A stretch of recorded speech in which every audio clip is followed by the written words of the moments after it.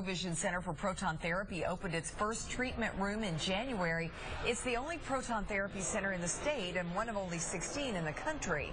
Proton therapy is a treatment option for cancer patients that allows doctors to target the cancer without hurting the surrounding healthy tissue. Olympic gold medalist Scott Hamilton is a cancer survivor and he serves on the board of directors for the center. He believes it's a great step forward for cancer treatment in our area.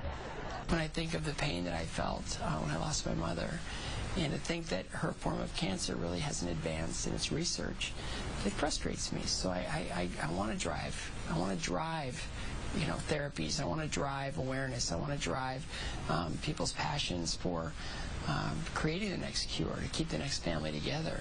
The center opened its second treatment room earlier this month and is now able to treat all forms of cancer.